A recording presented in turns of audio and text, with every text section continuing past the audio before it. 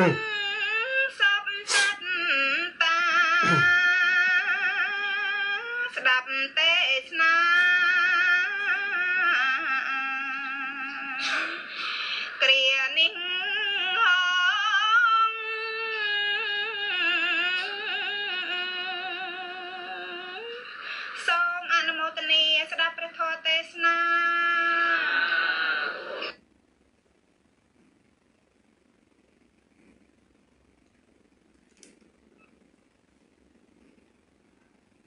នមថោ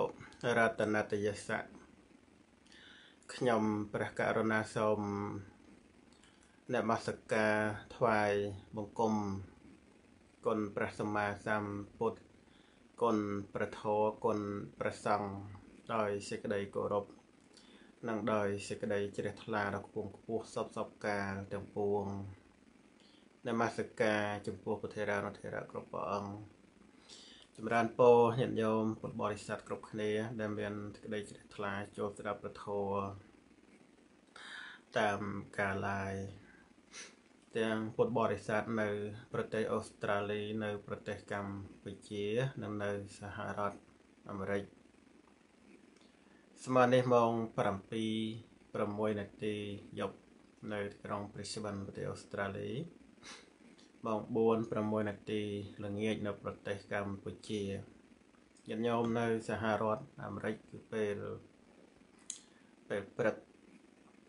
ណាតាមរដ្ឋនីមួយនីមួយក៏មិនតាន់ភ្លឺអីដែរដូចជានៅខាងទីសាសកានសាសហើយហ្នឹងគឺម៉ោង4 6នាទីព្រឹកណាជាដើមចឹងទៅ វេលារាត្រីនេះស្ថិតនៅ ក្នុងថ្ងៃ4ណា4កើតខែពិសាឆ្នាំ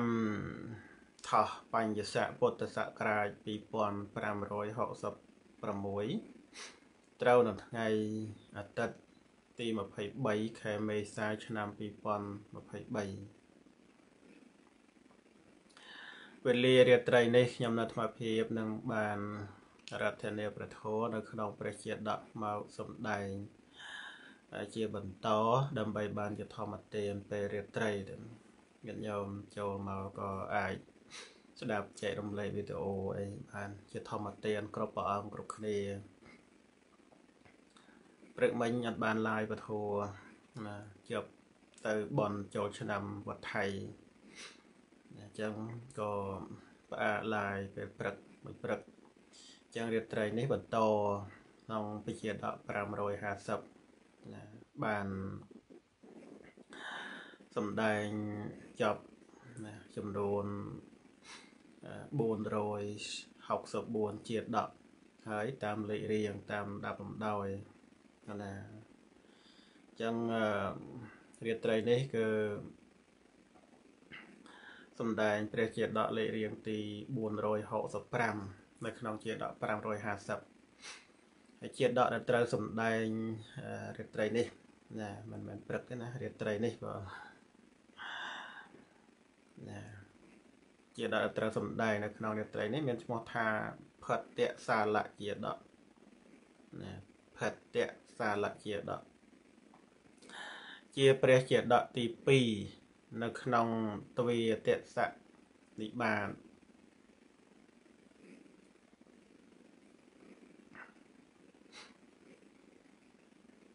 ហើយជាព្រះជាដកលេខរៀងទី465នៅក្នុងជាដក550ណា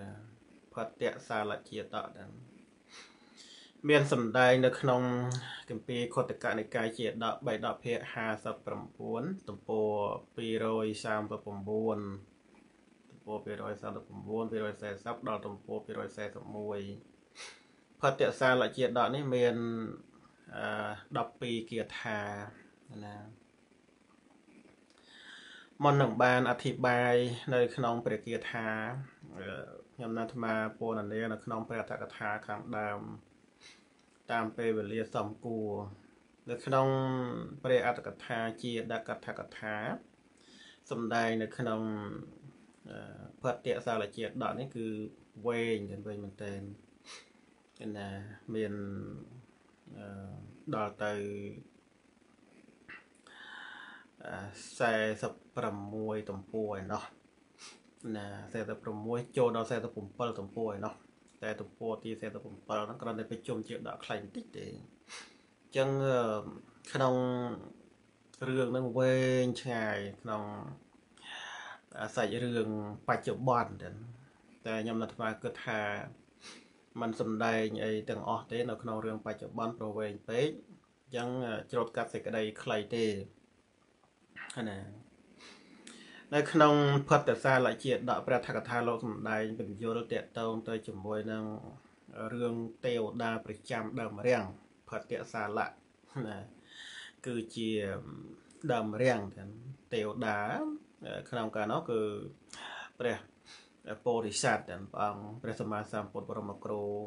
ដែលព្រះអង្គនៅជាព្រះពោធិសត្វហ្នឹងក៏ជាទេវតានៅដើមរាំងនោះឯងណាហៅថាផុតសាលៈ ជាដកហ្នឹងគឺនិយាយពីទេវតាដែលនៅក្នុងដើមរាំងនោះ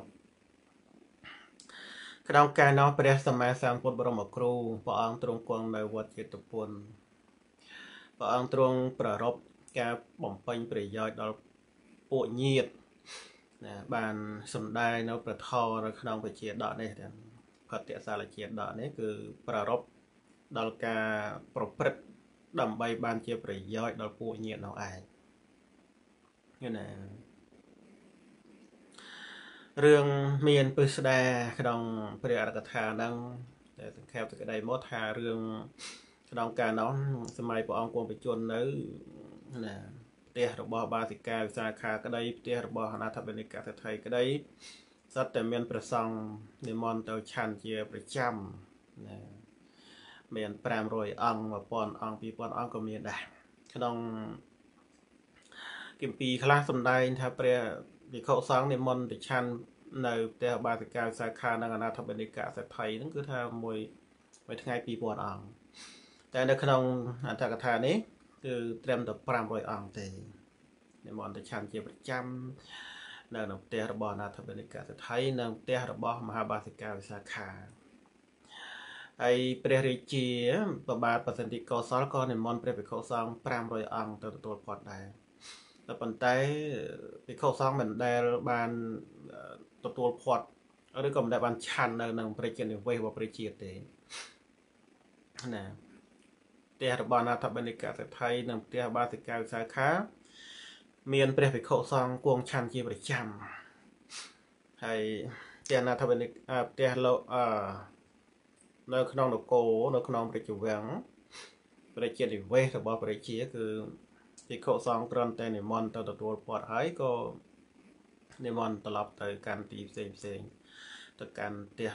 ទៅឆាននៅផ្ទះបាសិកាវិសាខាឬក៏អនាថបនិកតថៃឬមួយក៏ទៅឆាន់នៅផ្ទះដែល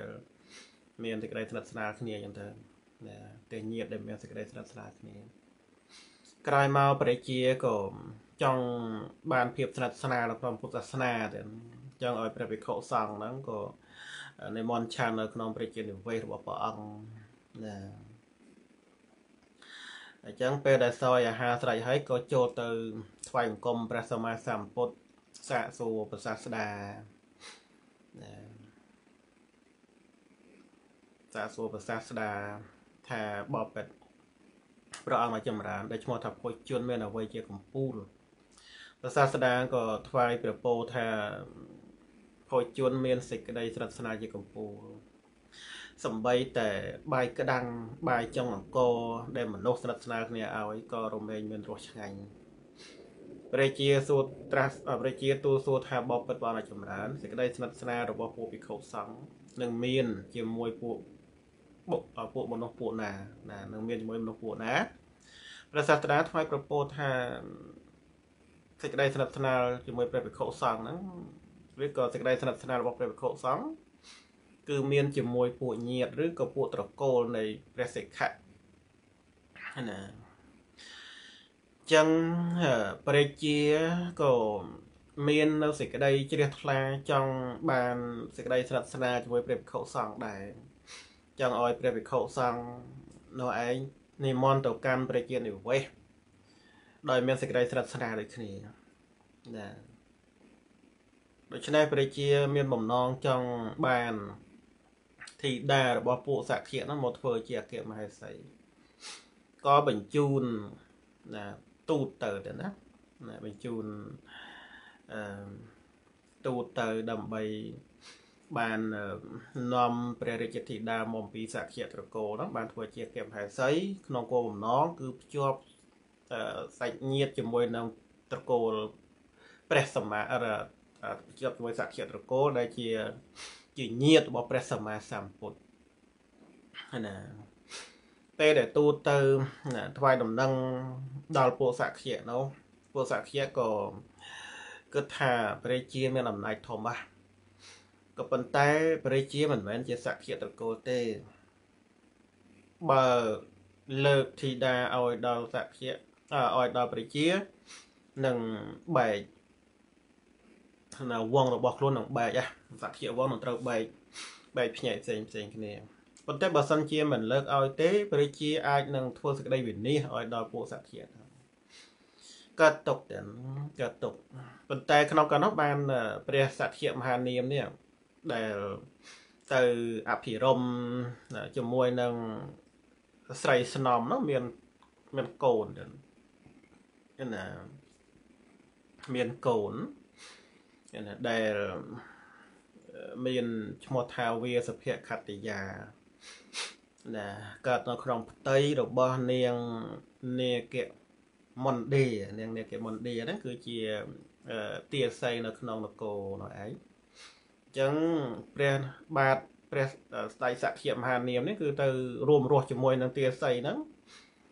មានកូនណាមានឈ្មោះថាវេសភខតិយា មាននៅរូបសម្បត្តិឆោមលំពណ៌ស្អាតនៃវេទភកតយាហ្នឹងមានអាយុ16ឆ្នាំហើយក្នុងកាលនោះព្រះបាទសក្យមានាមក៏បាននិយាយមួយពួកសក្យទាំងឡាយថាកុំពិបាកចិត្តអីណាលើកនាងវាសិភកតយាហ្នឹងឲ្យទៅព្រះជាប្របាទប្រសិទ្ធកសលអបប្រសិទ្ធកសលទៅណានឹងរឿងនោះមានវែងឆ្ងាយហោហែទៀតខ្ញុំនៅអាត្មាសូមសង្ខេបសេចក្តីមកអញ្ចឹងអឺពួក សក្តិហ្នឹងក៏ព្រមព្រៀងនេះទៅហើយអឺឲ្យទូតហ្នឹងនាំនាងវាសិភៈកតយានេះទៅថ្វាយព្រះជាបបាលបសិន្តិកោសលទៅណាហើយអឺពេលដែលទៅដល់នគរមិនទាន់ចូលទៅក្នុងនគរភ្លាមទេ បានថ្វាយដំណឹងដល់ព្រះជាព្រះជាក៏បានឲ្យរៀបចំនគររៀបចំអីណាសបាយបតីហើយរៀបចំអភិសេកទៀតណាឲ្យឲ្យនាំនាងវិទ្យាកតយាចូលទៅហ្នឹងណារៀបចំនគរនឹងស្អាតហើយបានអភិសេកនាងវិទ្យាកតយាទុកក្នុងតំណែងជាអគ្គមហេសីទៅក្រោយមកព្រះជាសបាយចិត្តណាហើយរួមរស់ជាមួយនឹងនាងវិទ្យាកតយាហ្នឹង នាងវាសភកតយាក៏មានគោមានគោណាពេលដែល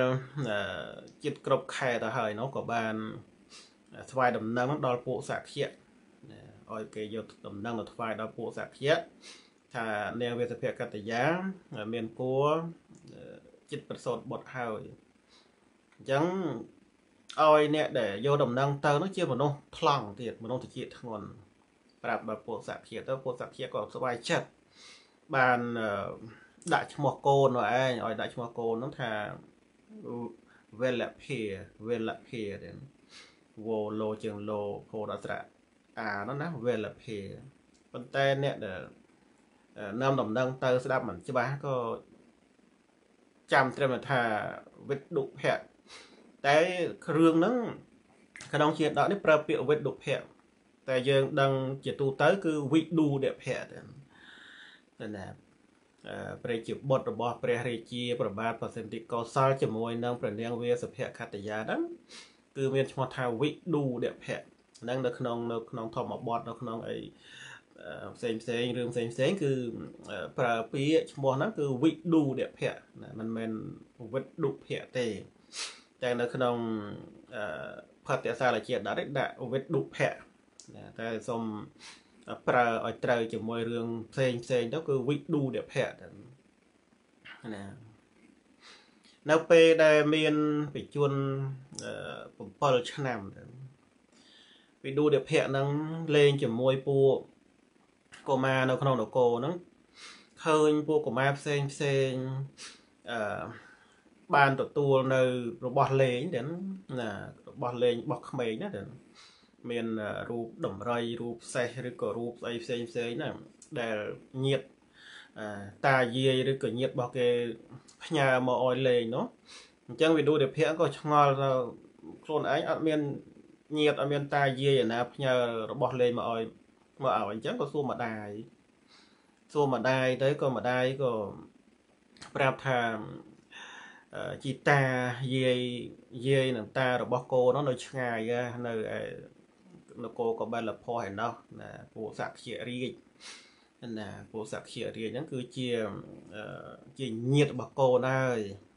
ជាជីតាជាយាយរបស់កូន នៅឆ្ងាយប្រហែលដូច្នោះហើយបានជាពួកគាត់ហ្នឹងមិនដែលបានផ្ញើរបស់អ្វីអ្វីមកឲ្យកូននោះពេលនៅតែវីដេអូដែលភ័ក្រហ្នឹងនៅ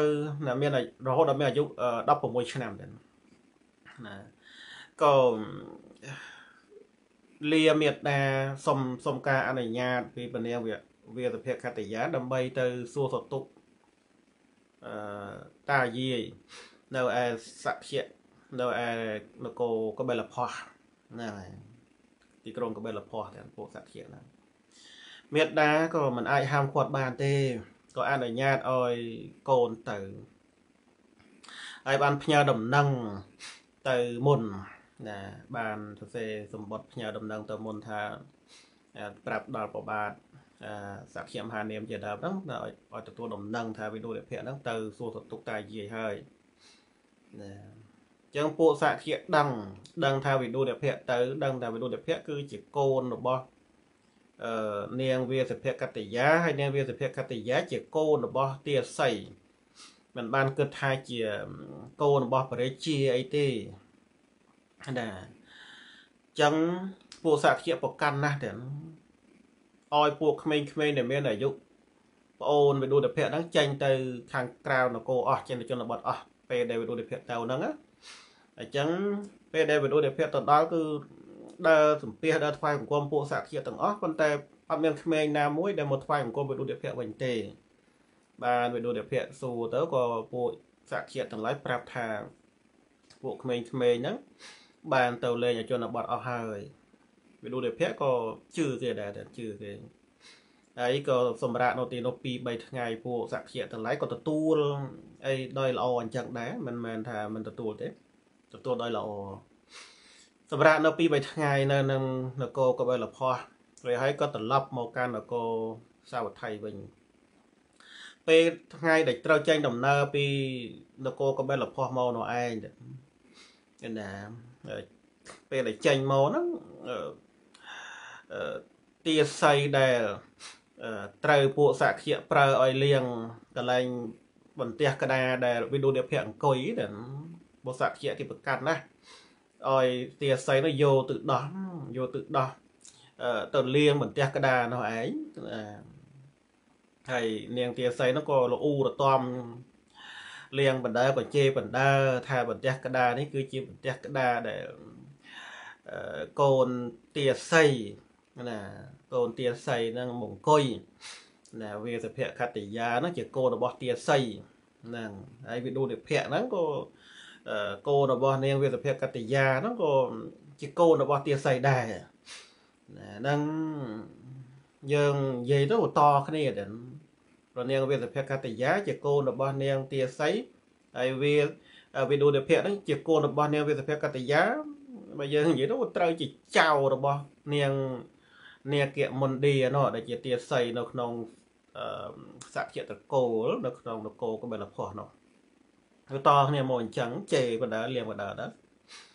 ពេលនោះមានអាមាត្យម្នាក់មកផ្លេចសត្រាវុធ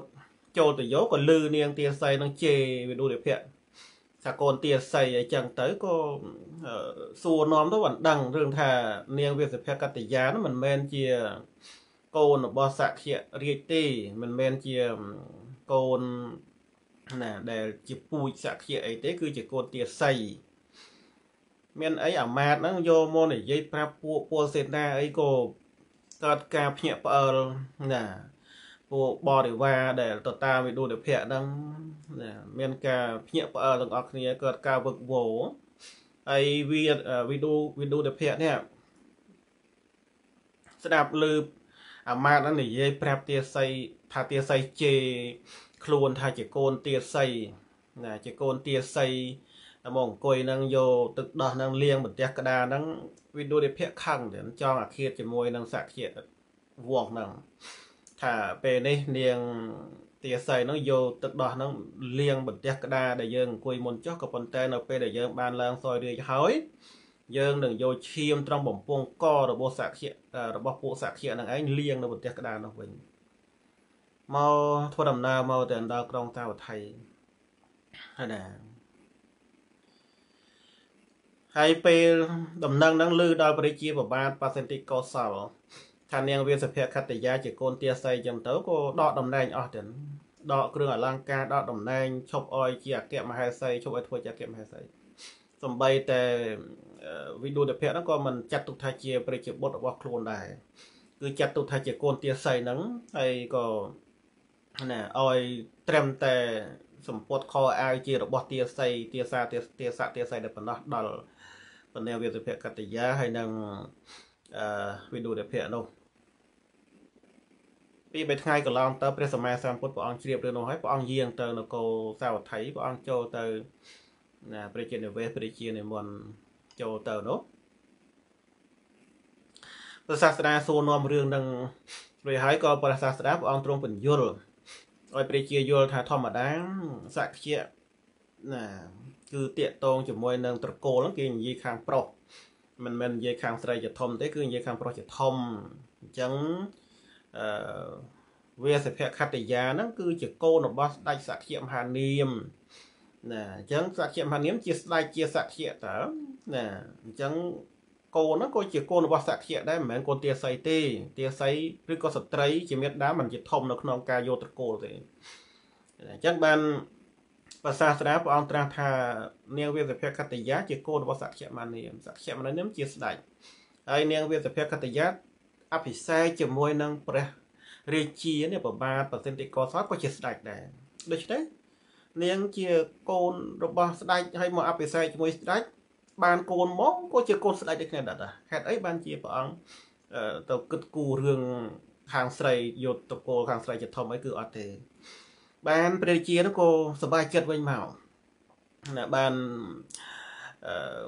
លើកនាងវាសភកតយាទុកក្នុងតំណែងជាអគ្គមហេសីវិញទៅហើយនឹងវិឌុតិភៈហ្នឹងក៏ទុកក្នុងតំណែងជាប្រជាបុត្រវិញទៅទៅនឹងរឿងនោះហោហែមកទៅណាតមកទៀតខ្ញុំណាត់អាត្មាសូមណាសង្ខេបសេចក្តីមកនៅពេលដែល វិឌុរិភៈនេះបានឡើងសយរាជណាអានេះសង្ខេបមកមែនទេណាពេលដែលព្រះរាជាព្រះបាទបសិន្តិកោសលសយទីបង្គត់ទៅនោះវិឌុរិភៈនោះក៏បានឡើងសយរាជរឿងហ្នឹងគឺមានកម្មពីវរិយហោហែច្រើនណាស់ត្រង់ចំណុចហ្នឹងតាកតងជាមួយនឹងពេនធុលសេនាបតីជាមួយនឹងនាងមូលិកាជាមហេសជាភរិយារបស់ពិនធុលសេនាបតីផង ហើយរឿងសម្លាប់គ្នាផងហោហែរហូតមកដល់ព្រះជាប្របាទបតិតិកោសលក៏ត្រូវសយទីវង្គត់នៅនឹងសាលាណាតាមផ្លូវផ្លាច់ឆត់ទៀនតាមផ្លូវសាលាសំណាក់មួយតាមផ្លូវអត់មានទីពឹងអីទេព្រះជាហ្នឹងគឺថាសយទីវង្គត់កំសត់ណាហហើយពឿនធុលអឺអឺវិឌូនិភៈនេះក៏បានឡើងសោយរាជនៅក្នុងនគរសាវថៃនេះទៀត នៅពេលដែលបានឡើងសោយរាជនឹងឯងដែលនឹកឃើញដល់កម្ពីនឹកឃើញដល់ពីវរីនេះរលឹកដល់ណារលឹកដល់រឿងដែលសក្យៈយកឲ្យទាស័យយកទៅដោះលៀងកន្លែងដែលខ្លួនអង្គុយនោះចឹងវិឌូទេភៈនេះពេលដែលបានឡើងសោយរាជហើយក៏លើកកងទ័ពដើម្បីទៅសម្លាប់ពួកសក្យៈហ្នឹងទាំងណាដើម្បីទៅសម្លាប់ពួកសក្យៈហ្នឹងណា លើកទ័ពទៅទី1ហ្នឹងគឺថា ព្រះសម្មាសម្ពុទ្ធព្រះអង្គយាងទៅខាត់ទាំងណាព្រះអង្គយាងទៅខាត់ណាមិនឲ្យវិឌូទេភៈហ្នឹងទៅសម្លាប់ពួកញាតអីទេពួកសក្យៈនោះយល់ណាព្រះអង្គយាងទៅកាន់ដែននៅក្នុងនគរកបិលភ័សនោះ ណាហើយព្រះអង្គបានគង់នៅក្រោមដើមឈើតូចមួយទេដែលក្នុងទីនោះមានដើមឈើធំមានម្លប់តែព្រះអង្គមិនគង់ពេលដែលវិទូលភៈទៅជួបព្រះសម្មាសម្ពុទ្ធហ្នឹងសួរនាំទៅព្រះអង្គត្រាស់ថាមានតែដើមឈើតូចជាដើមឈើតូចជារបស់ញាតណាជារបស់ញាតណាជាទីត្រជាជាទីត្រជាចិត្តណាដើមឈើធំនោះមិនមែនជាអឺដើមឈើរបស់ពួកញាតអញ្ចឹងមិនមិនត្រជាទេ នឹងក្នុងន័យហ្នឹងព្រះអង្គអោយវិดุតិភៈហ្នឹងយល់យល់ថាមានតែការសាមគ្គីជាមួយពួកញាតទេទើបបានសេចក្តីសុខបើការឆ្លោះតោះតែងសម្រាប់គ្នាអញ្ចឹងអត់បានសេចក្តីសុខទេវិดุតិភៈបានជ្រាបបានដឹងថាព្រះសាស្តាព្រះអង្គទ្រង់មានព្រះបំណងមិនអោយខ្លួនហ្នឹងទៅសម្រាប់ពួកសក្តិអីទេណាព្រោះវិរុទ្ធភៈហ្នឹងគឺថាចង់អាឃាតជាមួយពួកសក្តិហ្នឹងស្លាប់ទាំងអស់សំបីឲ្យកូននៅក្នុងរឹងក៏ត្រូវសម្លាប់ដែរ ណាខឹងខឹងចង់អាឃាតកាលពីខ្លួនទៅលេងនោះអញ្ចឹងលើកទី1ហ្នឹងមិនបានសម្លាប់ទេព្រោះព្រះសម្មាសម្ពុទ្ធព្រះអង្គទ្រង់យាងទៅហាមឃាត់លើកទី2លើកទី3ទៀតហ្នឹងគឺណាលើកទី2លើកទី3ទៀតគឺថាព្រះសម្មាសម្ពុទ្ធព្រះអង្គហាមឃាត់មិនអោយស័កមិនអោយវិឌុតិភៈនោះទៅសម្លាប់ពួកសក្តិទេតែវិឌុតិភៈនៅតែមិនមិនមិនអស់ចិត្តណាទេ នៅតែមានគំនុំជាមួយពួកសក្តិហ្នឹងទៅលើទី4ទៀតព្រះសម្មាសម្ពុទ្ធព្រះអង្គទ្រង់ប្រមើលមើលឃើញបាបកម្មរបស់ពួកសក្តិទាំងណាពួកសក្តិ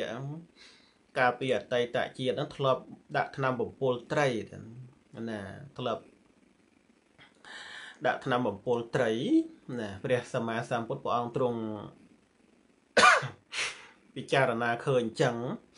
ណាព្រះអង្គទ្រង់ពិចារណាឃើញពួកញាតពីមុននោះគឺធ្លាប់ដាក់ឆ្នាំបំពុលត្រីណាដាក់ឆ្នាំបំពុលត្រីនៅក្នុងទឹកណាតែនៅក្នុងទន្លេណាណារយឆ្នាំពឹសដាក់នៅក្នុងទន្លេអញ្ចឹងត្រីក៏ត្រូវពុលស្លាប់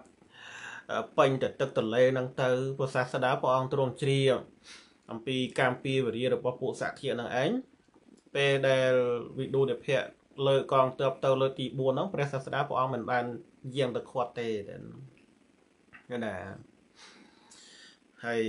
វិឌុនិភៈក៏នាំគ្នាលើកទ័ពទៅហ្នឹងទៅសម្លាប់ពួកសក្តិអស់ទាំងបើតាមសាច់រឿងដែលធ្លាប់ចាំមកដូចជានៅជីតាអីជាដើមហ្នឹងគឺនៅព្រះសក្យមហានាមហ្នឹងគឺអត់ត្រូវសម្លាប់ទេ តែដល់តៃក្រៅពីនោះគឺថាសម្លាប់គ្មានសល់ទេ ហ្នឹងខ្ញុំមិនថ្មមិនលើរឿងនៅមកវែងទេត្រង់ហ្នឹងណាសូមសង្ខេបសេចក្តីទៅ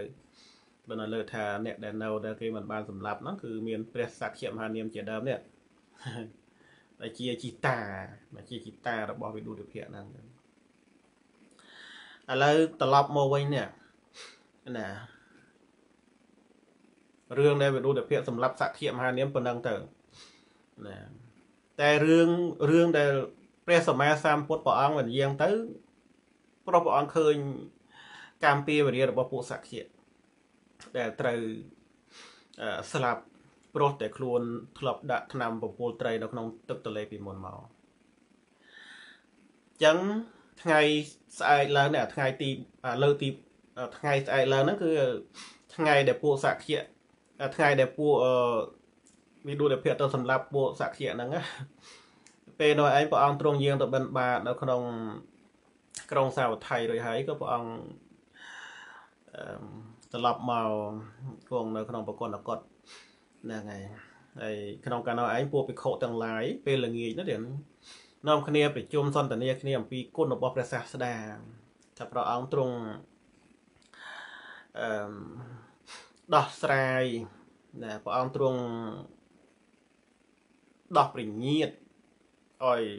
ផុតចាកអំពីមរណភ័យ ព្រះសាស្តាព្រះអង្គទ្រង់ប្រព្រឹត្តជាប្រយោជន៍ដល់ពួកញាតិច្រើនណាស់ណាពិខុទាំងឡាយលោកអឺសន្តានាហ្នឹងគឺសន្តានាយកចំណុចដែលព្រះសម្មាសម្ពុទ្ធព្រះអង្គយាងទៅខាត់ព្រះបាទវិនុទ្ធភៈលើកទី1លើកទី2លើកទី3ត្រង់លើកទី4គឺអត់និយាយទេគឺត្រង់ពោលសរសើរគុណរបស់ព្រះសាស្តាថាព្រះសម្មាសម្ពុទ្ធហ្នឹងព្រះអង្គទ្រង់ ប្រព្រឹត្តណាទ្រង់ប្រព្រឹត្តដើម្បីបានជាប្រយោជន៍ដល់ពួកញាតិព្រះគុណរបស់ព្រះអង្គគឺអស្ចារ្យណាស់ណាជួយដល់ពួកញាតិនឹងឯងឲ្យបានសេចក្តីសុខដោះពួកញាតិនឹងឯងឲ្យរួចផុតចាកអំពីមរណៈភ័យជាដើមណាគឺដោះលើកទី1លើកទី2លើកទី3នោះឯងតែត្រង់លើកទី4គឺអត់និយាយទេ ព្រោះព្រះសម្មាសម្ពុទ្ធយ៉ាងដឹងហើយថាព្រះអង្គទ្រង់ប្រព្រឹត្តចរិយា3នោះតែមានទី1គឺពុទ្ធតចរិយាប្រព្រឹត្តដើម្បីជាប្រយោជន៍ដល់ខ្លួនព្រះអង្គទី2ញាតតថចរិយាប្រព្រឹត្តដើម្បីជាប្រយោជន៍ដល់ពួកញាតទី3លោកថចរិយាប្រព្រឹត្តដើម្បីជាប្រយោជន៍ដល់សត្វលោកទូទៅនៅពេលដែលពួកភិក្ខុទាំងឡាយសន្ទនាអំពីព្រះគុណរបស់ព្រះសាស្តាដែលព្រះអង្គទ្រង់ប្រព្រឹត្តដើម្បីបានជាប្រយោជន៍ដល់ពួកញាតិនោះឯង ពេលនោះព្រះសាស្តាព្រះអង្គយាងមករួចហើយព្រះអង្គសួរថាមនាភិក្ខុទាំងឡាយឥឡូវនេះពួកអ្នកប្រជុំសន្ទនាគ្នាដោយរឿងអ្វីភិក្ខុទាំងឡាយក៏ក្រាបទូលរឿងនោះឯងណាក្រាបទូលរឿងព្រះអង្គទ្រង់ប្រព្រឹត្តដើម្បីបានជាប្រយោជន៍ដល់ពួកញាតិនោះព្រះសាស្តាក៏ព្រះអង្គត្រាស់ថាមនាភិក្ខុទាំងឡាយមិនមែនតែក្នុងកាលឥឡូវនេះប៉ុណ្ណោះទេ ដែលតថាគតប្រព្រឹត្តដើម្បីប្រយោជន៍ដល់ពួកញាតិនោះ ណាតែតថាគតប្រព្រឹត្តធ្វើនៅប្រយោជន៍ដល់ពួកញាតិនោះសំបីក្នុងការមុនក៏តថាគតបាន ប្រព្រឹត្តប្រយោជន៍ដល់ពួកញាតិដូចគ្នាដែរណាហើយក៏ភិក្ខុទាំងឡាយទួរតនាប្រសាស្ដាដើម្បីឲ្យទ្រង់លើកយករឿងអតីតមកសម្ដែងចឹងរឿងបច្ចុប្បន្នហ្នឹងគឺសង្ខេបប៉ុណ្ណឹងទាំងសង្ខេបប៉ុណ្ណឹងតកតងជាមួយនឹងព្រះសាស្តាព្រះអង្គទ្រង់ប្រព្រឹត្តដើម្បីជាប្រយោជន៍ដល់ពួកញាតិ ណាធ្វើឲ្យពួកញាតិនឹងឯងរួចផុតចាកអំពីសេចក្តីស្លាប់លើកទី1លើកទី2លើកទី3ហោហែមកលើកទី4ព្រះអង្គជួយអត់បានដោយសារតែអឺព្រះអង្គពិចារណាឃើញពីវិរិយរបស់ពួកសក្តិត្រូវណាគេថាត្រូវឲ្យផលកម្មបាបកម្មត្រូវឲ្យផលទៅព្រះអង្គទ្រង់សម្ដែងរឿងអតីតកាលទាំងរឿងដែលប្រព្រឹត្តដើម្បីជាប្រយោជន៍ដល់ពួកញាតិពីមុននោះ ព្រះអង្គត្រាស់ថាមនីភិក្ខុទាំងឡាយក្នុងអតីតកាលព្រះជាទ្រង់ប្រនាមព្រមតតណានៅគ្រប់គ្រងនគរពេរិណស័យប្រព្រឹត្តធម៌ទាំងព្រះជាហ្នឹងគឺជាអ្នកត្រួតត្រងធម៌ត្រួតត្រងនៅទស្សពេរិជធម៌ទាំង10ប្រការហើយថ្ងៃមួយនោះព្រះជាក៏ទ្រង់ព្រះតម្រេះថាបណ្ដាព្រះជា ក្នុងចម្ពោះទ្វីបនាំគ្នានៅក្នុងប្រាសាទមានសសរច្រើនហេតុនោះ ការកសាងប្រាសាទសសរច្រើន មិនជាអស្ចារ្យអីទេ ប្រសិនបើយើង បានកសាង ប្រាសាទដែលមានសសរតែមួយណាទៅជាអស្ចារ្យណាទៅជាព្រះជាដែលអស្ចារ្យដែលមាន ប្រាសាទអឺជាទីសំណាក់អាស្រ័យជាទីនៅ គឺមានសសរតែមួយដើមអញ្ចឹងព្រះជាហ្នឹងគឺថាបើយើងអាចកសាងប្រាសាទដែលមានសសរមួយដើមបានគឺអស្ចារ្យជាងព្រះជារតីរតីនៅក្នុងចម្ពោះទ្វីបពេលនោះប្របាទព្រមតតនេះបានហៅជាងឈើមក ត្រាស់ថាពួកអ្នកចូលសាងប្រាសាទសសរមួយមួយដើមឲ្យល្អប្រណិតដល់យើង ជាងឈើក៏ទទួលទៅហើយក៏នាំគ្នាចូលទៅកាន់ព្រៃដើររកមើលដើមឈើធំធំនៅក្នុងព្រៃជាច្រើនដែលសំគួរដល់ការកសាងប្រាសាទសសរមួយដើមនោះបានឃើញដើមឈើធំធំជាច្រើនតែมันអាចយកមកបានតែมันអាចដឹកយកមកបានទេព្រោះនៅក្នុងព្រៃជ្រៅជ្រៅអញ្ចឹង มันអាចកាប់ហើយដឹកជញ្ជូនយកមកបានទេតាមផ្លូវគឺมันរៀបស្វាណាផ្លូវព្រៃមានដុបមានព្រៃមានភ្នំមានអីអញ្ចឹងគឺថាมันអាចនាំយកមកបានទេក៏នាំគ្នាទៅក្រាបទូលព្រះជាព្រះជាក៏ត្រាស់ថាចូលអ្នកមិនអាច រកពិធីអីអង្កលអង្កលឈើធំធំទាំងអស់នោះចេញមកបានទេពួកជាងឈើក៏ប្រាប់ថាទូលថាมันអាចទេព្រះអង្គ ព្រោះដើមឈើធំធំក៏នៅឆ្ងាយឆ្ងាយហើយនៅក្នុងព្រៃធំទៀតហើយតាមផ្លូវក៏លំបាកអញ្ចឹងទូលបង្គំគ្រប់គ្នាមិនអាចនាំយកមកបានទេណាពេលនោះឯងអឺព្រះរាជាក៏បានត្រាស់ថាបើអញ្ចឹងចូលពិនិត្យមើលឈើនៅក្នុងព្រះរាជាឧទ្យានរបស់យើងចុះពួកជាងឈើក៏នាំគ្នាទៅកាន់ឧទ្យាន ពិនិត្យមើលដើមឈើនៅក្នុងឧទ្យានក៏ឃើញដើមរាំងណាឃើញដើមរាំងដែលជាឈើបង្គល់មួយដើមដើមរាំងធំតែដើមរាំងហ្នឹងគឺធំណាជាដើមរាំងដែលពួកមនុស្សនៅក្នុងនគរហ្នឹងតែតែធ្វើការបន់ស្រន់បួងសួងហើយតែតែធ្វើពលិកម្មតែតែនាំយកនៅគ្រឿងដង្វាយនាំយកនៅអឺសាច់នាំយកនៅផ្លែឈើនាំយកអាហារអីជាដើមទៅទៅទៅបូជាហ្នឹងហៅថា ទៅធ្វើជាពលីគឺបូជាដល់ដើមឈើដល់ទេវតាដល់ដើមឈើនោះឯងចឹងណាអញ្ចឹងពួកជាងហ្នឹងក៏នាំគ្នាទៅកាន់សំណាក់របស់ព្រះរាជាក៏ទូលនៅរឿងនោះឯងថាមានដើមឈើធំមួយដើមនៅ នៅក្នុងព្រះរាជាឧទ្យានអាចយកមកធ្វើជាប្រាសាទដែលមានសសរមួយដើមនោះបានណាហ្នឹងហើយហើយអញ្ចឹងព្រះជាក៏អនុញ្ញាតឲ្យកាប់ដើមឈើនោះទៅ ណាឲ្យកាប់ដើមឈើនោះណាហើយជាងឈើមុននឹងកាប់ហ្នឹងក៏បានយកផ្កាយកគ្រឿងក្រអូបយកគ្រឿងលៀបយកគ្រឿងសក្ការៈផ្សេងផ្សេងដើម្បីទៅបូជាមុនយកទៅបូជាមុនដោយចាប់ម្សៅក្រអូបដោយម្រាមដៃអឺលៀបដើមឈើហ្នឹងទៅ ណាលៀបដើមឈើហ្នឹងហើយក៏ព្យួរកម្រងផ្កាដុតប្រទីបធ្វើពលិកម្មហើយក៏ស្រែកប្រាប់ថាក្នុងថ្ងៃទី7អំពីថ្ងៃនេះពួកយើងនឹងនាំគ្នាកាត់ដើមឈើដែលព្រះជាទ្រង់អនុញ្ញាតឲ្យកាត់អញ្ចឹងសូមអញ្ជើញទេវតាដែលនៅក្នុងដើមឈើនេះទៅកាន់ទីដតីចុះពួកខ្ញុំមិនមានកំហុសទេអញ្ចឹងពួកជាងឈើហ្នឹងក៏ យកគ្រឿងសក្ការៈទៅបូជា ដល់ទេវតានឹងដើមឈើធំនឹងដើមរៀងហ្នឹងប្រាប់ថាចាប់ពីថ្ងៃនេះទៅនៅអឺរាប់ពីថ្ងៃនេះទៅថ្ងៃទី7អំពីថ្ងៃនេះគឺពួកយើងខ្ញុំនឹងមកកាប់ដើមឈើនេះហើយដែលព្រះជាទ្រង់អនុញ្ញាតឲ្យកាប់អញ្ចឹងសូមទេវតាដែលនៅអាស្រ័យនឹងដើមឈើនេះទៅកាន់ទីដតីចុះណា ពេលនោះឯងទេវតាដែលនៅដើមឈើនោះស្ដាប់ពាក្យរបស់ពួកជាងឈើនឹងហើយក៏គិតថាដើមឈើនេះប្រកាសជាត្រូវពួកជាងឈើទាំងអស់នេះកាត់ឲ្យអត់សង្ស័យទេ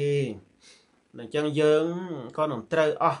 ណាជីវិតរបស់យើងក៏នឹងត្រូវអស់នៅ ក្នុងវិមាននេះដែរណាតែសំខាន់នេះទេវតាដែលនៅដើមឈើនោះគឺជាទេវតាពោធិសត្វតែគិតថាមិនមែនតែយើងដែលនៅដើមឈើនេះទេអ្នកនៅជុំវិញដើមឈើធំដែលយើងនៅនេះ គឺមានទេវតាជាញាតិរបស់យើងច្រើនណាស់ដែលនៅក្នុងដើមឈើជំទង់ជំទង់ដើមឈើតូចធំផ្សេងផ្សេងដែលនៅជុំវិញដើមឈើធំដែលយើងរស់នៅហ្នឹងគឺមានទេវតាជាញាតិរបស់យើងច្រើនណាស់ដូច្នេះយើងមិនមិនត្រូវឲ្យពួកញាតិរបស់យើងនឹងវិនិច្ឆ័យទេនេះនេះនេះទេវតាពុទ្ធិសត្វហ្នឹងគិតអញ្ចឹងតែគិតថាមិនត្រូវឲ្យពួកញាតិរបស់យើងវិនិច្ឆ័យទេព្រោះកាលណាបកັບដើមឈើធំហ្នឹងដើមឈើតូចតូចនៅក្បែរហ្នឹងគឺត្រូវដួលទាំងអស់ហើយ ត្រូវសង្កត់ដួលតិចទីគ្មានសល់ទេ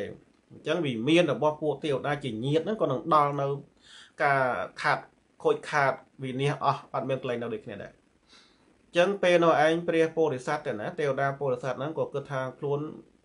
មានជីវិតរស់នៅអញ្ចឹងมันអាចឲ្យពួកញាតនឹងឯងដល់នៅសក្តីវិនិច្ឆ័យទេយើងនឹងឲ្យនៅជីវិតដល់ពួកញាតទាំងឡាយរបស់យើងពេលនោះឯងដែល ព្រះពោធិសត្វហ្នឹងគិតរោពេលរោរោឱកាសរោពេលវេលាទៅជួបព្រះជានៅក្នុងនគរនោះណានៅពេលដែលចូលដល់អត្រាទាំងណាទេវតាពោធិសត្វណាទេវបុត្រពោធិសត្វទេបានប្រដាប់កាយដោយគ្រឿងអលង្ការដោយចិត្តទាបហ្នឹងហើយក៏ចូលទៅកាន់បន្ទប់របស់ព្រះជាដោយរឹតរបស់ខ្លួនហ្នឹងណាធ្វើបន្ទប់ដល់ឯងឲ្យភ្លឺទាំងអស់ដោយពលឺដែលជាពលឺរបស់ទេវតានោះទាំង ណាធ្វើឲ្យបន្ទប់របស់ព្រះជានឹងឯងគឺមានពលឺភ្លឺអស្ចារ្យហើយបានឈោឈោយំនៅខាងលើព្រះអឺព្រះសីស័ករបស់ព្រះជានេះទេវបុត្រពោធិសត្វហ្នឹងណា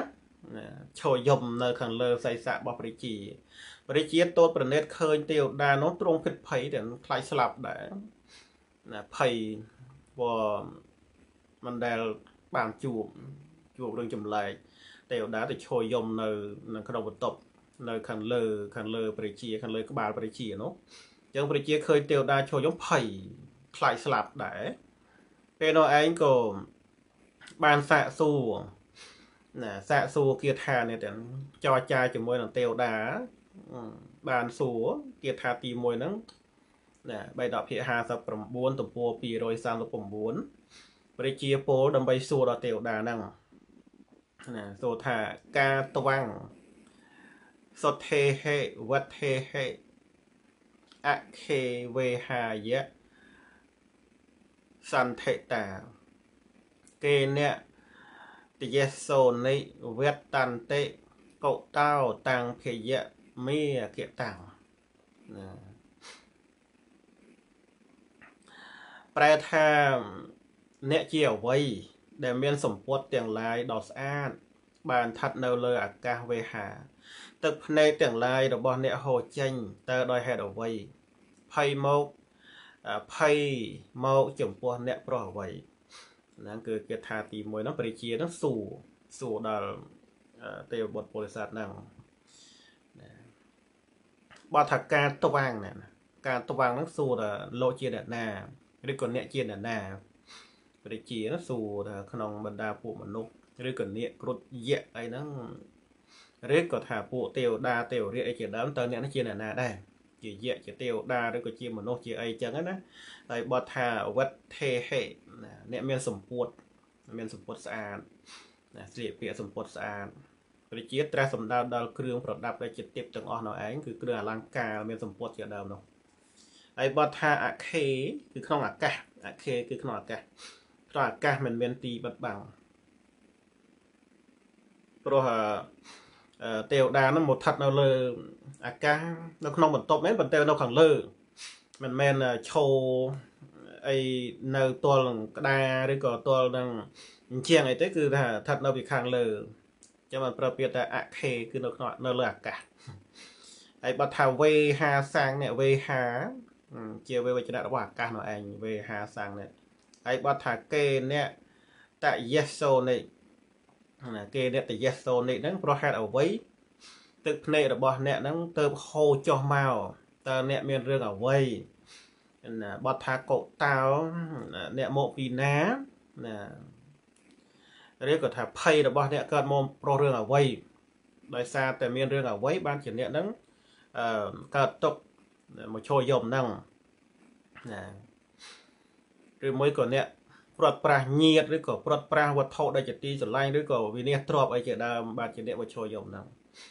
ពេលនោះទេវរាជពោធិសត្វហ្នឹងក៏បានពោលគាថាតបជាមួយព្រះជាពីរគាថាទៅណាគាថា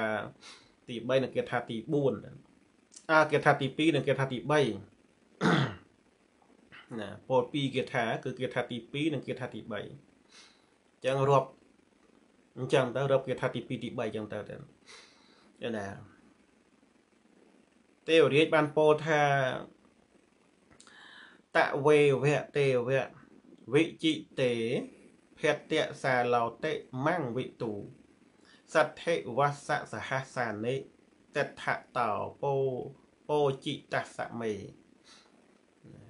ហើយប្រែថាបបិទ្ធព្រះសមត្ថទេព ជនទាំងឡាយក្នុងដែនរបស់ព្រះអង្គស្គាល់ច្បាស់នៅខ្ញុំថា ជាផាត់តសាលព្រឹក កាលខ្ញុំស្ថិតនៅក្នុងឧទ្យាននេះអស់60000ឆ្នាំ ជនទាំងឡាយបានបូជាហើយអញ្ចឹងអឺទេវបុត្រហ្នឹងទេវរាជពុរស័តហ្នឹងបានប្រាប់រាជាទូរាជាថាជនទាំងឡាយក្នុងដែននេះណាគឺក្នុងនគរព្រះនស័យហ្នឹងបានបានដឹងច្បាស់ណាស់ ស្គាល់ច្បាស់នៅខ្ញុំថាជាផុតតសាលព្រឹកមានន័យថាដឹងច្បាស់ថានៅក្នុងដើមឈើធំនៅក្នុងដើមរៀងធំនៅក្នុងឧទ្យានហ្នឹងគឺមានទេវតារស់នៅហើយទេវតានោះនៅណាគឺខ្ញុំនេះឯងខ្ញុំរស់នៅទីនោះអស់ច្រើនឆ្នាំហើយនៅអស់60000ឆ្នាំហើយ60000ឆ្នាំរបស់មនុស្សណាចឹងហើយពួកជនទាំងឡាយនៅក្នុងនគរតែងតែនាំនៅគ្រឿងសក្ការៈទៅបូជាដល់ខ្ញុំដែលនៅក្នុងដើមឈើនោះគឺមនុស្សនៅក្នុងនគរគេដឹងទាំងអស់ហ្នឹងអាហ្នឹង គេថាទីទី2ទៅណាគេថាទី3បេដកភា59ទំព័រ240ទេវបុត្រទេវរាជហ្នឹងពោលបន្តទៀតថាការយន្តាអ្នកកិរិនិអគិរេចតិសម្បតិវិវិធេចាបិបាសាតេអ្នកមន្តេអច្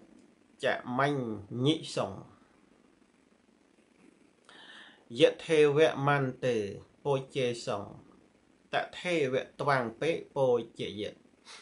ប្រែថាបបិទ្ធព្រះអង្គជាម្ចាស់ទឹះព្រះជាទាំងឡាយពីដើម ក្នុងនគរនេះ កាលឲ្យគេសាងទីក្រុងទាំងឡាយផង ដំណាក់ទាំងឡាយផង ប្រាសាទផ្សេងផ្សេងផងមិនដែលបៀតបៀនខ្ញុំឡើយព្រះរាជាទាំងនោះបូជាខ្ញុំយ៉ាងណា សូមព្រះអង្គបូជាខ្ញុំយ៉ាងនោះដែរអញ្ចឹងអឺ ទេវបុត្រទេវរាជពុរិស័ទហ្នឹងទូលព្រះរាជាថាព្រះជាមុនមុនដែលសោយរាជអស់ការជាយូរអង្វែងហើយនោះឲ្យគេកសាងនៅប្រាសាទឲ្យគេធ្វើអ្វីអ្វីគឺថាមិនដែលមិនដែលបៀតបៀនខ្ញុំព្រះអង្គទេណាមិនដែលបៀតបៀនខ្ញុំព្រះអង្គទេហើយព្រះរាជាទាំងអស់នោះឯងតែងតែបូជាខ្ញុំព្រះអង្គទៀតណោះ ណាព្រះជាក្នុងកាលមុនណាក្នុងនគរនេះដែលគ្រប់គ្រងក្នុងនគរនេះណាណាការទ្រង់ធ្វើការជួសជុលនគរជាដើមហ្នឹងគឺថាមិនដែលបៀតបៀនមិនដែលប៉ះពាល់ណាមិនដែលបៀតបៀនទីលំនៅរបស់ខ្ញុំទេមិនដែលឲ្យកាត់នៅដើមឈើដែលជាទីនៅរបស់ខ្ញុំទេទ្រង់ធ្វើកម្មរបស់ខ្លួន តែក៏នឹងធ្វើសក្ការៈដល់ខ្ញុំតែម្យ៉ាងមានន័យថាសំបីតែឲ្យពួក ជាងឈើឬក៏ឲ្យពួកអាមាតអីកាត់ឈើមកជួសជុលនគរក៏ដោយគឺមិនដែលឲ្យកាត់ដើមឈើធំដែលជាទីនៅរបស់ខ្ញុំនោះទេព្រះជាមុនមុនមានតែបូជាខ្ញុំតែប៉ុណ្ណោះណាបទថាយៈទេវៈណាយ៉ាងណាណាប្រហែលថាយ៉ាងប្រហែលនោះព្រះជាអំពីមុនទាំងនោះក្នុងគ្នាបូជាប្របូជាខ្ញុំព្រះអង្គបូជាខ្ញុំព្រះអង្គសំបីតែមួយព្រះអង្គក៏មិនធ្លាប់ត្រាស់ឲ្យកាត់ដើមឈើនោះយ៉ាងណា សំបីព្រះអង្គក៏ចូលបូជាខ្ញុំយ៉ាងនោះដែរណាហ្នឹងគឺទេវបុត្រទេវរាជពលសិទ្ធហ្នឹងប្រាប់ព្រះជាអញ្ចឹងថាព្រះជាមុនមុនមិនអោយគេកាត់ដើមឈើហ្នឹងហើយព្រះជាហ្នឹងក៏បូជាខ្ញុំព្រះអង្គដែរមិនថាតែប្រជារាស្ត្រទេទោះបីព្រះជាហ្នឹងក៏បូជាខ្ញុំព្រះអង្គដែរអញ្ចឹងព្រះពោធិសត្វប្រាប់ព្រះជាហ្នឹងប្រាប់បបាត់ព្រមតតថាព្រះអង្គចូលបូជាខ្ញុំព្រះអង្គដូចព្រះជាមុនមុនចុះ ពេលនោះព្រះជាបានពោលគាថា2បន្តទៀតទៅគាថាទី4និងគាថាទី5ទៅគឺណាគាថាទី4បេដកភាគ59ទំព័រ240ណារៀបតាមលេខរៀងអញ្ចឹងបណ្ដោយទៅណាណាគាថាទី4ព្រះជាបានពោលថាតាញ់ចៈអហੰអ្នកបាសាមិថោលង្កាយេអ្នកទេទុមੰអរោហៈបរិណាហេអ្នក អភិរូបោសេជាតយាប្រែថាខ្ញុំមិនធ្លាប់ឃើញអ្នកជាដើមឈើធំ ដោយកាយរបស់អ្នកទេ អ្នកជាឈើមានទ្រង់ទ្រាយដ៏ល្អដោយកម្ពស់និងទំហំនិងកំណើតអញ្ចឹងព្រះជាហៅទេវតាថាជាដើមឈើណាហៅទេវតាថាជាដើមឈើចឹងណាខ្ញុំមិនធ្លាប់ឃើញអ្នកជាដើមឈើធំដោយកាយរបស់អ្នកទេ អ្នកជាឈើមានទ្រង់ទ្រាយដ៏ល្អដោយកម្ពស់និងទំហំនិងកំណើតហ្នឹងគឺព្រះជាហ្នឹងពោលសរសើរទាំងណាពោលសរសើរទេវតាហ្នឹងណាព្រោះឃើញថាទេវតាហ្នឹងគឺមាននៅកាយធំហើយអឺមាននៅពណ៌សម្បុរស្អាតទាំងទំហំទាំងកម្ពស់ទាំងអីហើយមានកំណើតដល់ខ្ពស់ខ្ពស់គឺកំណើតជាទេវតា ចឹងព្រះជាពោលថាខ្ញុំមិនធ្លាប់ដែលឃើញអ្នកទេហើយថែមទាំងហៅទេវតាថាជាដើមឈើទៀតផងនឹងគេថាទី5គេថាទី6អឺគេថាទី6នេះគឺព្រះជាពោលគេថាទី5ណាគេថាទី5ព្រះជាបានពោលបន្តថាបាសាទាំងការយិសាមិ អេកធម្មភੰមណោរមੰតថតាំងឧបនិស្សាមិចិរន្ធេយខជីវិតាំងប្រែថាមនារយៈខ្ញុំនឹងឲ្យគេធ្វើប្រាសាទមានសសរតែមួយជាទីរីករាយដោយចិត្តខ្ញុំនឹងនាំយកអ្នកចូលទៅក្នុងប្រាសាទនោះជីវិតរបស់អ្នកនឹងមានអស់កាលយូរណាអញ្ចឹង គេថាទី5នេះព្រះជាបានពោលទៅកាន់ត្រេវទេវរាជពោធិសត្វថាខ្ញុំនឹងឲ្យគេធ្វើប្រាសាទដែលមានសសរតែមួយដើមហើយអញ្ជើញលោកនេះទៅនៅក្នុងប្រាសាទនោះតាំងនេះអញ្ជើញលោកទៅនៅក្នុងប្រាសាទនោះសេចក្តីថាទេវរាជសម្លាញ់ខ្ញុំនឹងអញ្ជើញលោកចូលទៅនៅក្នុងប្រាសាទនោះលោកកាលនៅជាមួយខ្ញុំក៏បានទទួលគ្រឿងក្រអូបនិងផ្កាកម្រងជាដើមដ៏ច្រើន រីករាយដោយសក្ការៈនឹងនៅយ៉ាងសប្បាយលោកគុំយំសោកថាសេចក្តីវិនិច្ឆ័យនឹងមានដល់យើងព្រោះមិនមានទីនៅ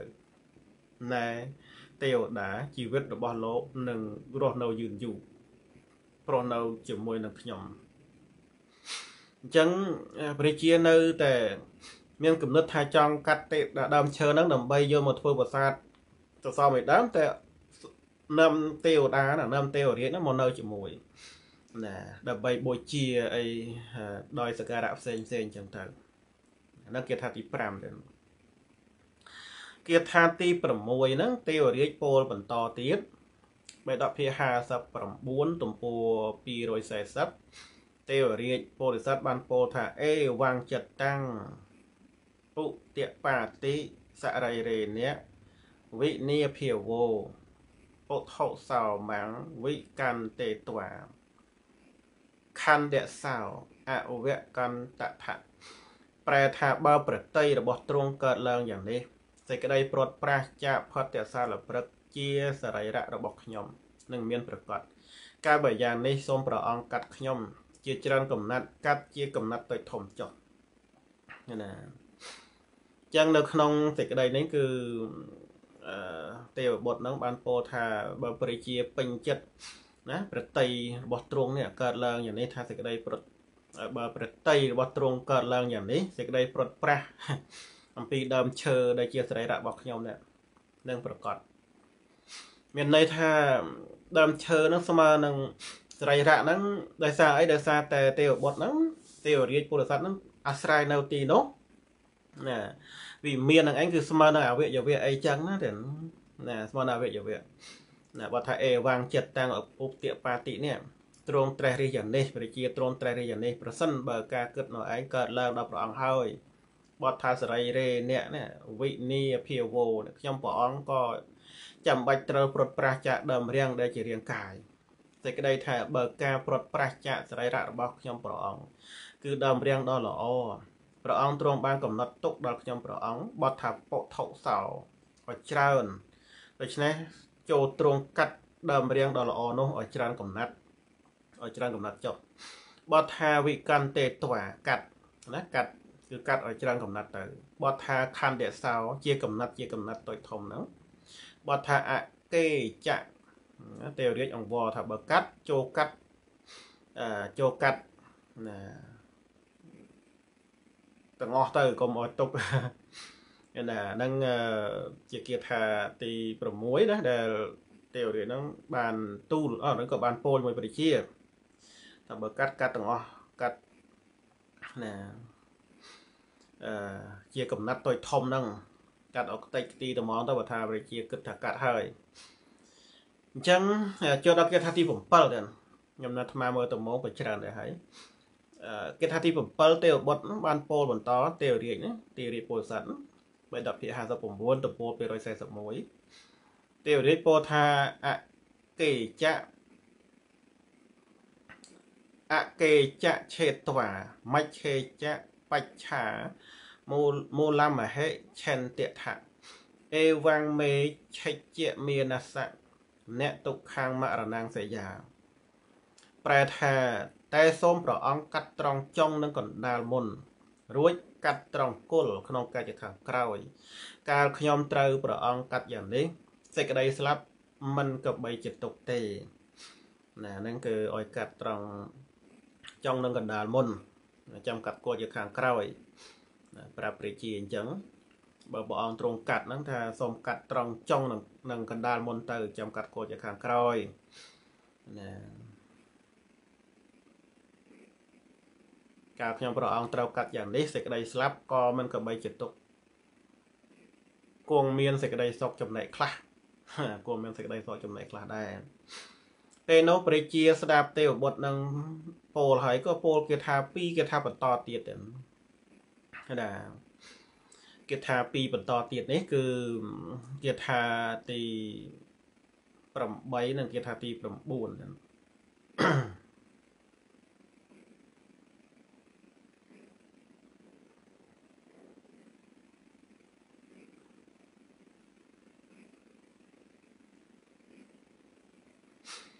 គាថាទី8ព្រះជាពលបន្តបន្តទៀតគេថាទី8ហ្នឹងណាហដ្ឋបាទាំងយថាឆិនតេកណ្ណនីសញ្ចជីវតោតតោបច្ឆាសិរោឆិនតេតាំងទុក្ខំមរណងសេយា ប្រែថាដូចយ៉ាងបុគ្គលកាត់ដៃនឹងជើងផងត្រចៀកនឹងច្រមុះផងឲ្យស្លាប់បាត់បង់ឲ្យស្លាប់បាត់ជីវិតតពីនោះគេកាត់នៅក្បាលក្នុងកាយខាងក្រោយសេចក្តីស្លាប់នោះក៏ជាទុកដែរ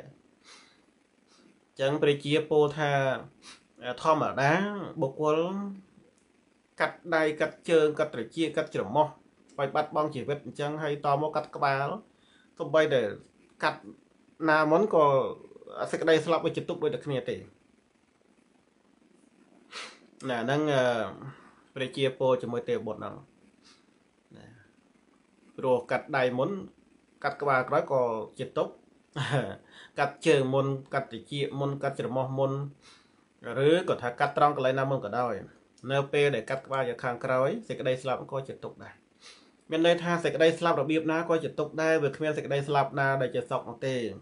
ដែលទេវបុត្រហ្នឹងពោលថាគង់នឹងបានសក់ខ្លះហ្នឹងណា ចឹងព្រះជាតបទៅវិញថាកាត់កន្លែងណាមុនក៏ដោយកាត់ក្បាលក្រោយគេហ្នឹងក៏នៅតែសក្តិស្លាប់នៅជាទុកដដែលទេ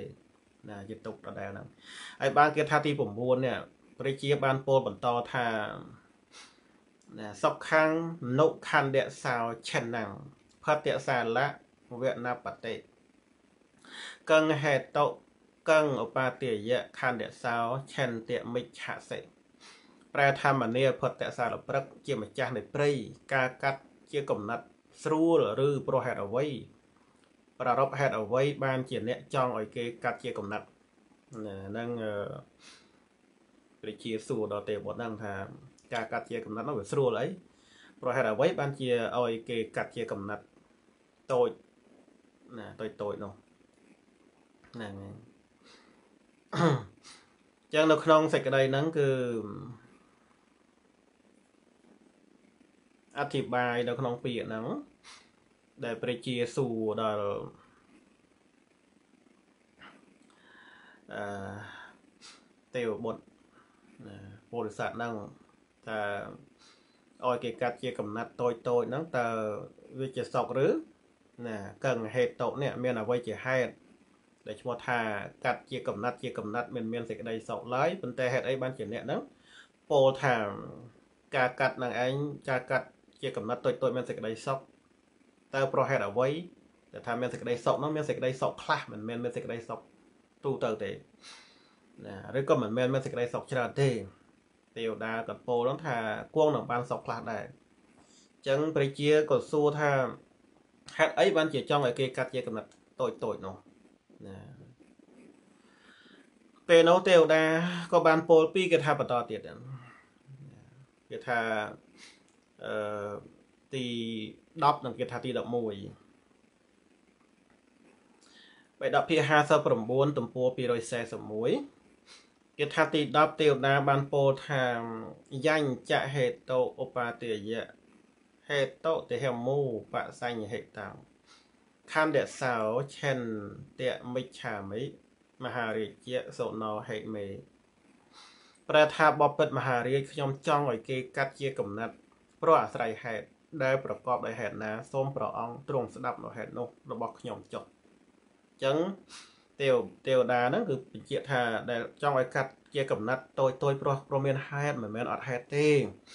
ឡូវសូមព្រះអង្គហ្នឹងស្ដាប់នៅហេតុនោះទៅណាអញ្ចឹងបើគេថាទី11ហ្នឹងទេវបុត្រពោធិសត្វណាទេវរាជពោធិសត្វបានពោលថាញាតិមេសុខសង្វេធាមៈមៈបសេនិវាតជា ទេបិហੰឧបហិង្សីយ៉ាងបរិសੰអនុខោចេតាំងហ្នឹងគឺគាថាទី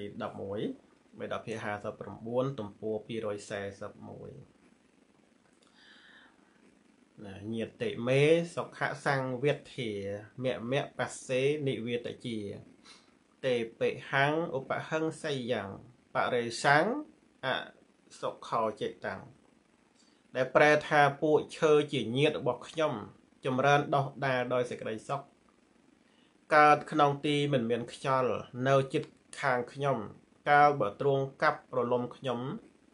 ខ្ញុំមុខជានឹងរលំ សង្កត់ពួកឈើជាញាតនោះសេចក្តីទុកនឹងកើតមាន ដល់ពួកឈើជាញាតដតីទៀតណាអញ្ចឹងនៅក្នុងសេចក្តីនេះគឺទេវតាពោធិសត្វទេវបុត្រពោធិសត្វហ្នឹងគឺទូល ពោដល់ព្រះជាថា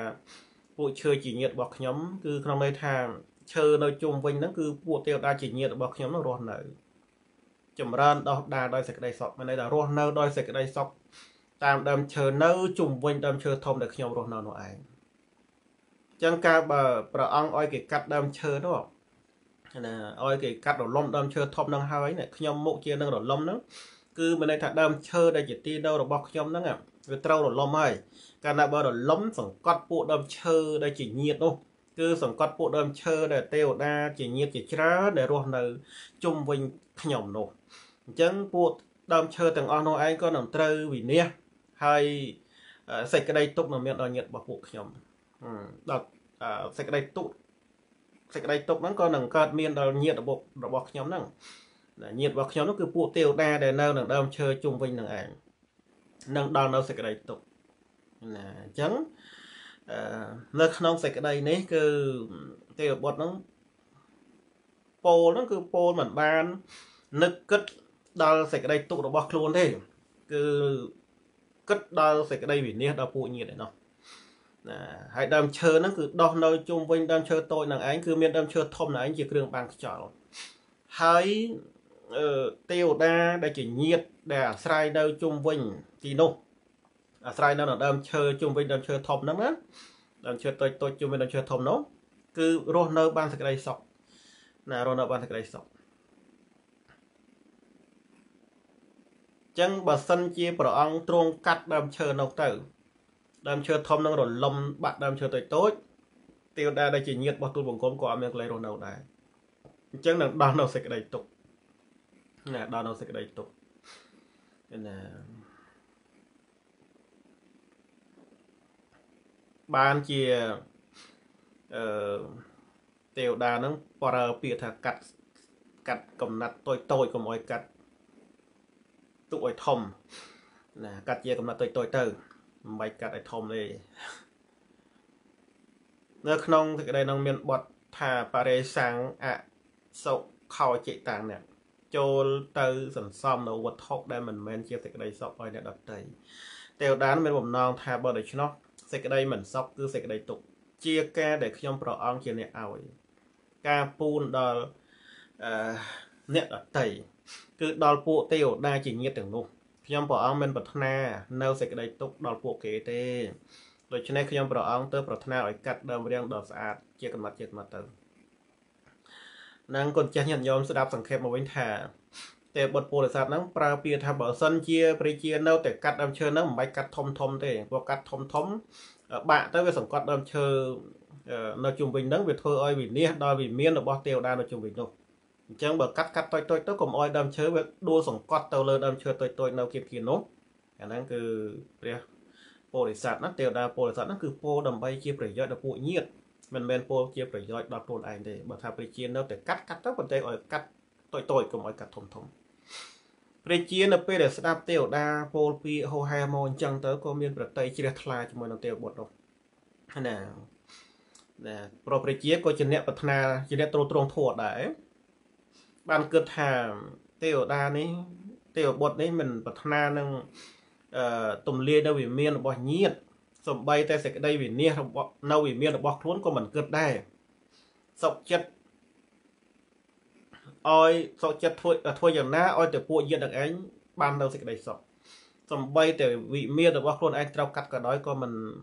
មិនស្ដាយដែរតែកាត់កុំអោយប៉ះពាល់កុំអោយអឺកុំអោយធ្វើឲ្យវិមានរបស់ទេវតានៅជុំវិញនឹងឯងវិនិច្ឆ័យអញ្ចឹងព្រះជាហ្នឹងគឺថាពេញចិត្តជាមួយនឹងពាក្យ ពេញចិត្តជាមួយនឹងការធ្វើរបស់ទេវបុត្រពោធិសត្វនោះទៅ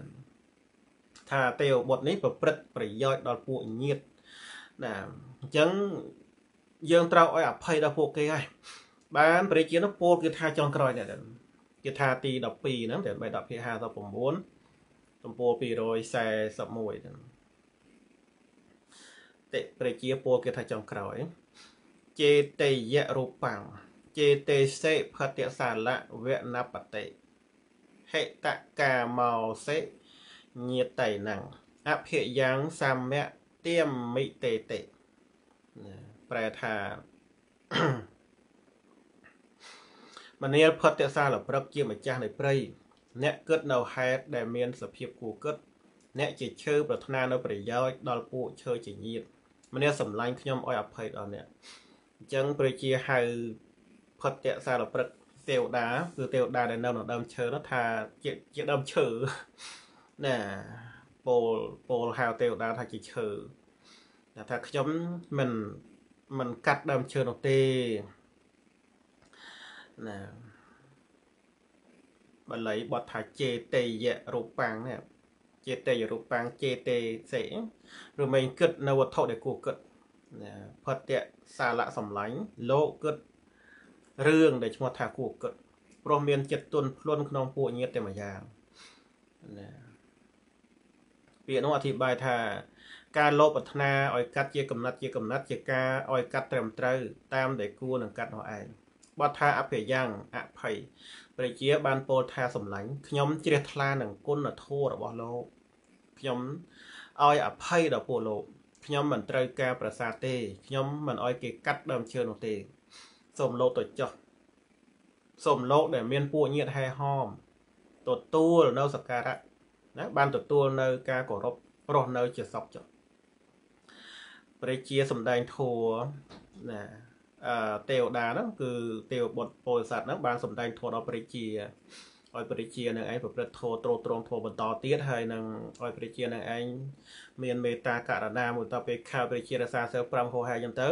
ទេវបុត្រពោធិសត្វក៏បានត្រឡប់ទៅកាន់វិមានរបស់ខ្លួនវិញទៅរាជាតាំងនៅក្នុងអវាទរបស់ទេវបុត្រពោធិសត្វធ្វើបន់មានថ្វាយទៀនជាដើមរហូតដល់អស់ជីវិតទៅក៏បានទៅកើតឋានសួគ៌តែបានកើតជាទេវតានៅឋានសួគ៌ព្រះសាស្តាទ្រង់នាំប្រធមទេសនានេះមកហើយព្រះអង្គទ្រង់ត្រាស់ទៀតថាមនាភិក្ខុទាំងឡាយ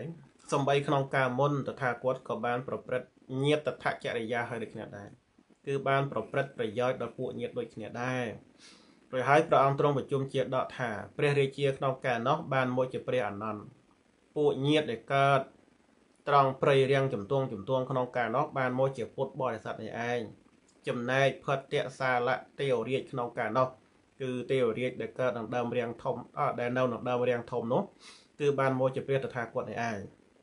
ហ្នឹងគឺផតៈសាលៈទេវរាជហ្នឹងគឺបានដល់ ទេវបុត្រពុទ្ធស័ក្តិដែលទៅសន្តានាមួយព្រះជានោះគឺបានមកជាព្រះតថាគតនេះឯង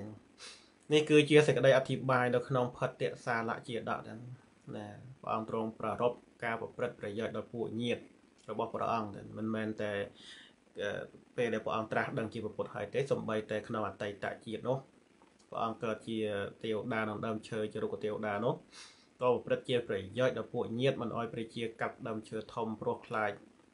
ដួលទង្កត់ពួកដើមឈើតូចតូចដែលនៅជុំវិញនោះជាទីជាវិមានរបស់ពួកញាតិរបស់ខ្លួនទាំងចុងក្រោយព្រះជាក៏អត់កាត់ដែរឲ្យនៅអភ័យដល់ពួកទេវតាទាំងអស់នោះមិនឲ្យគេកាត់ដើមឈើនោះទេអញ្ចឹងព្រះពោធិសត្វក៏ធ្វើឲ្យពួកញាតិនឹងឯងរស់នៅបានសេចក្តីសុខតទៅទៀតគឺទេវបុត្រពោធិសត្វនោះ